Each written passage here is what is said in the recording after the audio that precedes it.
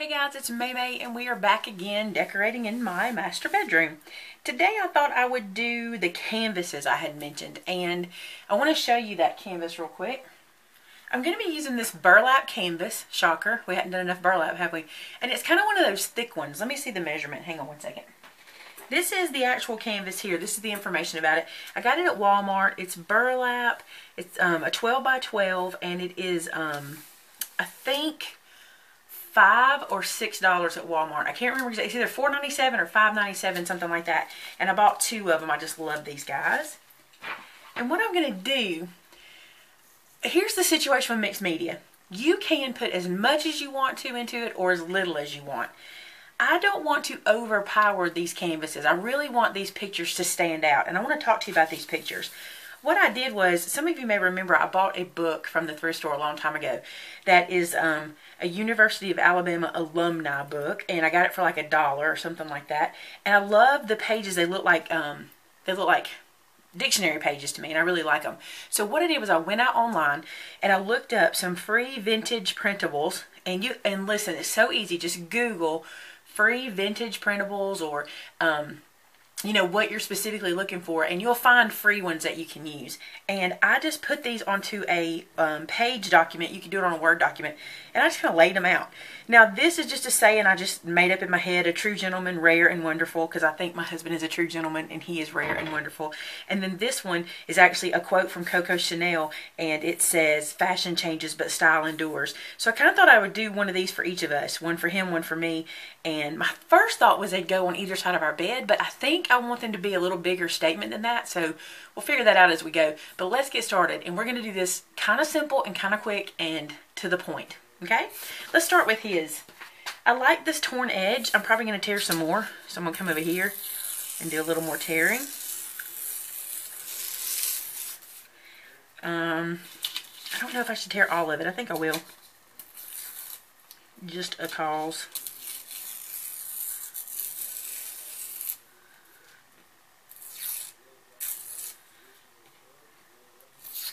There we go.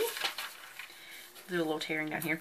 Now all I did was take this paper out of the book, pick out the page, the pictures that I wanted, made them black and white on my computer, and ran this through my regular printer, um, and it did it for me. I thought that was super cute. Now the next thing I want to do is kind of wrinkle this up a little bit. All right, so I'm going to wrinkle this up a bit. I know, I know, I know, but not too much. Just a little bit. okay, and now we're going to ink it.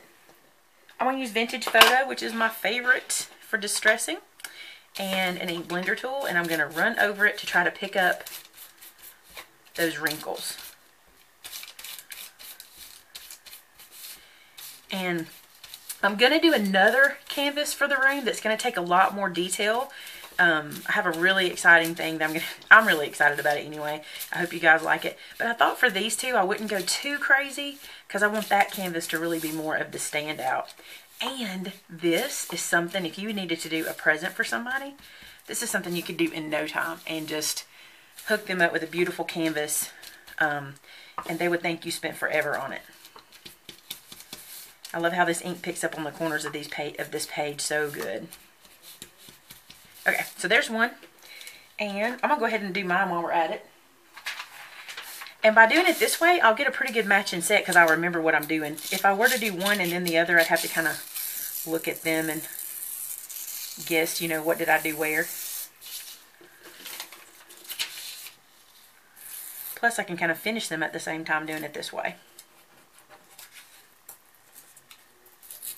I know this seems um, maybe more simple than you might imagine for this, but like I said, the room, I don't want to clutter it. I just want to do some pretty, you know, complementary pieces, and I think that's what this will do.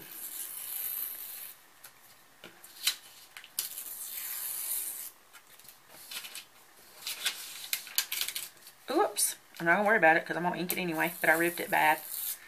See it? All right. Now, I could have done that, you know, tighter, but I really don't want to lose the integrity of the picture, so I just want the ink to pick up some.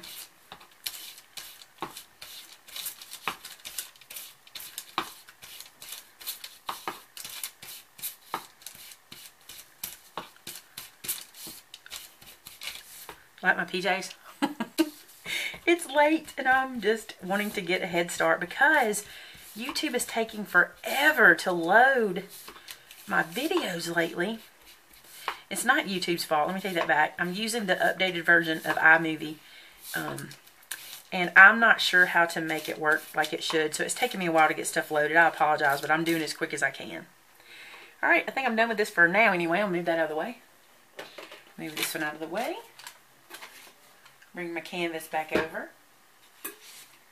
Now I have a couple things I got that I want to use. I bought this at Michael's this week. How adorable. And I bought one for mine too. Mine is a fleur-de-lis. Isn't that beautiful? And this was for Vince's canvas. I just love this timepiece.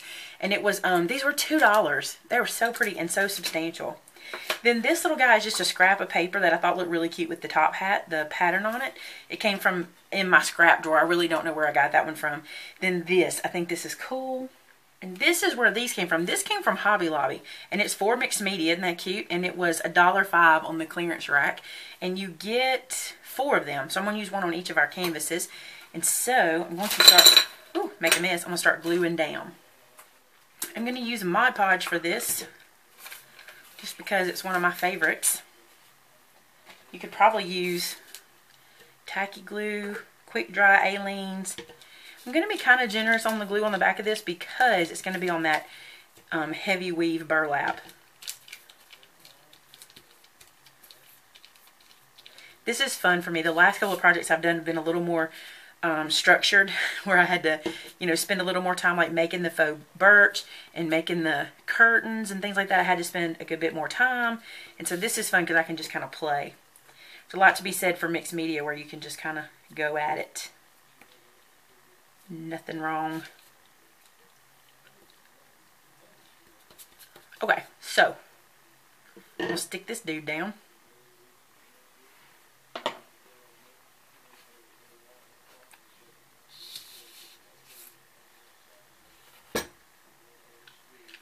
Okay. I just love this. It reminds me of my husband so much. That's the other thing. If you're going to do this, put things on it that remind you of yourself or your husband and, you know, or just what you see whenever you think of him. Like my husband is a suit wearer. He wears suits almost every day to work. Um, not when he's, you know, hanging out at the house, but when he's working. And I really like the idea of this kind of being down here. And look, it needs ink too. So let's ink it. For the most part, what I'm going to do on one, I'm going to do on the other. Just maybe in different locations on the canvas. So that they'll be complementary canvases to each other and not matching canvases, if that makes sense. You know, not cookie cutters. I like this rug, rugged edge on here too.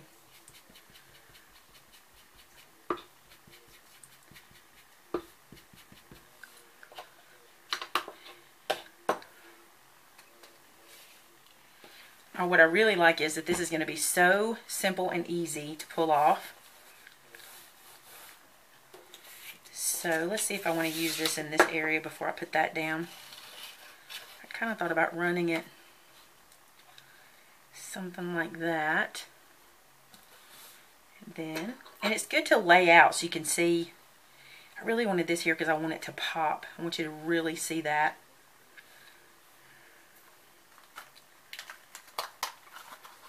Another cool thing about your mixed media is just dig in what you've got. This is a great way to use what you've got.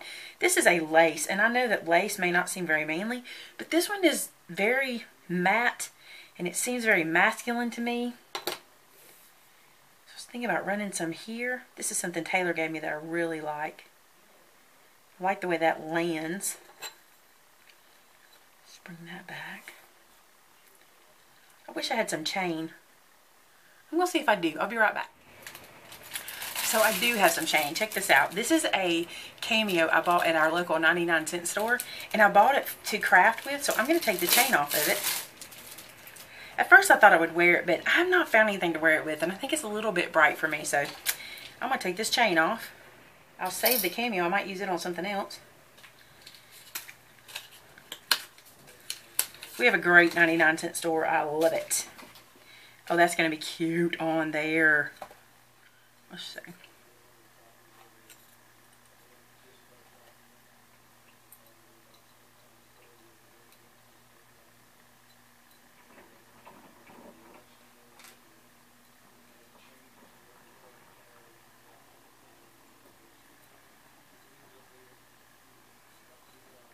This jump ring is really bendable and I don't need it to hold it really. I just want it to be in place. Look at that with the chain. Then I can just swirl the chain up and around. And I have a brad I want to use on here so I could use it in that area. Oh, isn't that cute? Love it. Simple, and that's what we're going to do. Okay, we're not going to go crazy. I'll find some scissors and cut this off. And I'm not even going to go around the edge because I, I may do something different on the edge. Okay, so let's start gluing down. You could hot glue some of these bigger elements down. That would be fine. But I'm in no hurry for this to dry, so just going to use my old Mod Podge. Again, I don't really want the edges stuck perfectly down. I'm just going to stick that. I forgot to glue this down. I'm getting ahead of myself.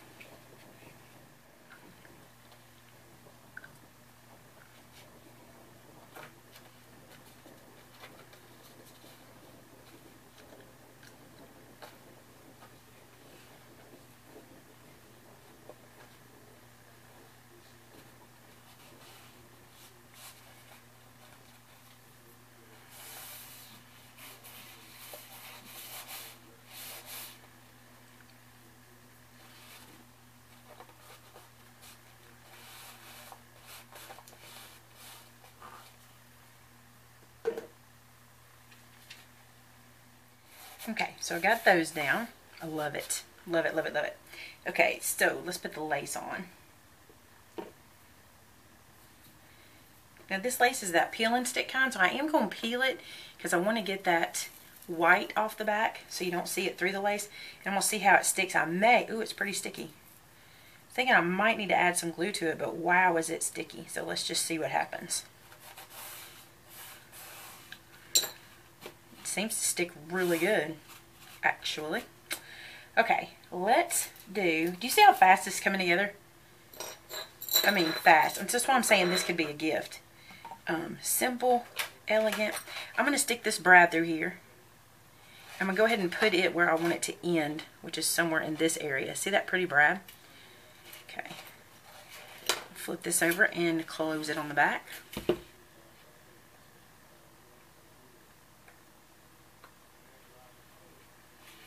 Okay, so I've stuck that down. That looks so manly.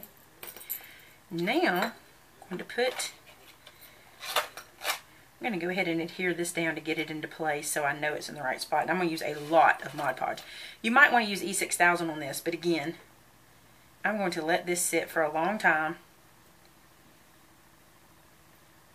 for at least overnight, and it will be just fine for what I'm doing. See how much I put on there? a lot. Okay. Going to flip this over. Sit it down. I'm going to decide about this chain, how I want to do it. I want it to look loose and messy. I am going to use my tacky glue on this because here's what I think I'll do. I think I'll draw a line with my tacky glue and then put it in there. Remember the tacky glue is going to dry clear anyway, so it won't be a big deal. I'm going to stop here to see how much chain I've got left.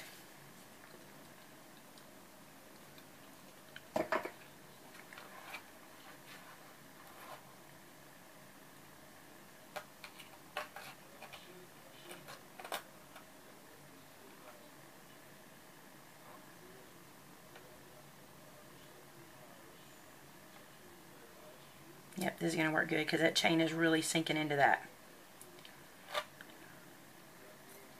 I think Vince is going to love this. This is right up his alley. Okay. I want it to come back.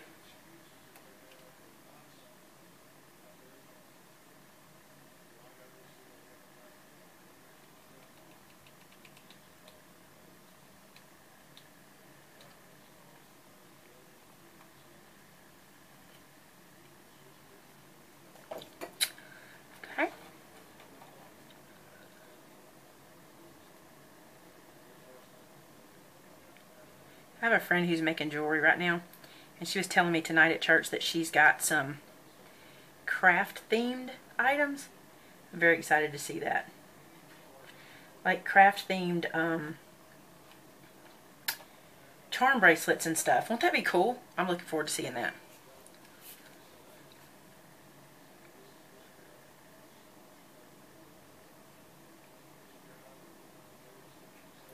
Okay. It dries clear. It's messy now, but it'll be fine.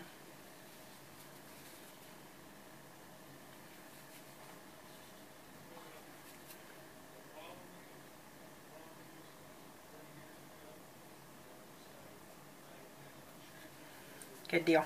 Let that dry. And I'm going to sit this side for a minute and we'll start on mine. So first things first, we're going to stick this dude down. I don't know if I've ever told you, but I'm quite the purse fanatic, so the purse makes perfect sense for me. Very much in love with purses. Okay, I need something. Oh, I could use lace too. Could use a couple pieces of lace. Let me check my scrap bin. All right, I decided on zebra paper. Doesn't that make perfect sense for me? Yeah, I know. Okay. so, glue this down. So I'm kind of doing the same thing, but just like the opposite. So that way, I don't know if you've ever noticed, but like if you buy artwork at the store, you'll kind of see the same, but complementary layout. So if I hang these on the wall, they'll complement each other. I should say when, because I know they're going on the wall. Okay. I want to do another one of those canvas pieces down here. Oh, did I, I showed you this, right? And this is going to be the highlight of mine, is this fleur-de-lis. They're so meaty and cool. It's going to go in this area. There's that. And then, going to glue it. Oh, I don't want to cover up Chanel, Coco Chanel. Maybe I'll take mine this way. Just to be a little different. I like it. I sure do.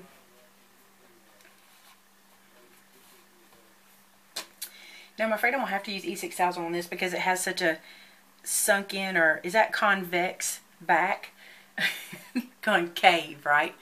It's concave when it goes in. That's what I got here. So you can correct me because I don't know that stuff. And then I'm going to need this because it's going to have to stick really good. I don't think I can get enough Mod Podge on it. Okay. I'll put this right here. Don't want it to cover up Coco Chanel. Love that. I love it, love it, love it. And now, I think I'll run me some lace as well. But I want to put it closer to the bottom and under that piece of paper, I think. I don't know. Maybe I want it to go up the side.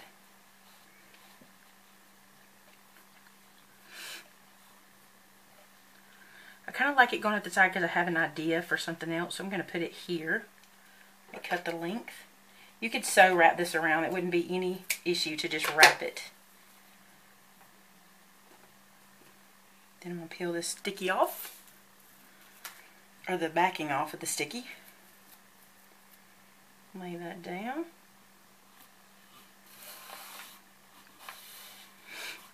I think I told you that lace came, that Taylor gave it to me, but I think she got it at Michael's.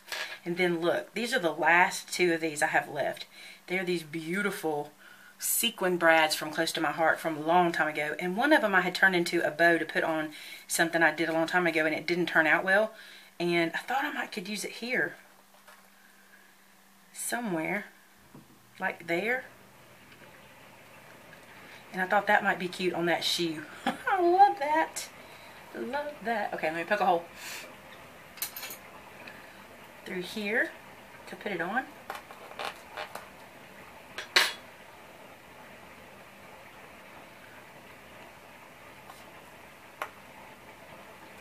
Push that in.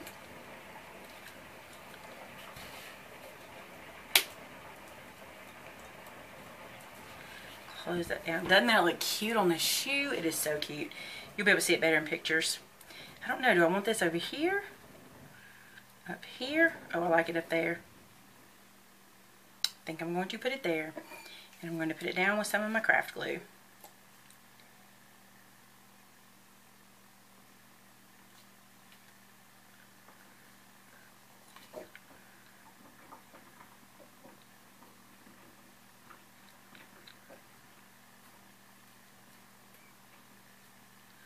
I love it. And that's it. Now you could do plenty more. You could play with this, you could add stuff all over the place, but I wanted it to be simple and I wanted this picture to really pop. So that's where I'm going to stop. But you could add bling and pearls and just go crazy. But I don't want it to be too starkly different from Vince's. I want it to be pretty close. So that's why I'm going to keep mine this simple and keep his simple. And I will show you guys pictures of this in our room. And now we have two new pieces of artwork in no time. And remember, I spent $2 a piece on these. All of this came from my stash. So this is stuff I already had for years. These brads I've had since, I don't even remember, like three years. Um, so you don't have to spend a whole lot. Just dig through what you got. Now i did purchase these canvases but if you have some leftover burlap you can always wrap a piece of cardboard or wrap um, a box or anything to make the same look and give yourself these canvases for the wall. So there you go. You'll see these on the um, on the wall in the pictures and i hope you enjoyed this one. Just thought i'd give us something quick and easy for tonight and um, i will see you again next time with another project for our master bedroom. Talk to you soon. Bye bye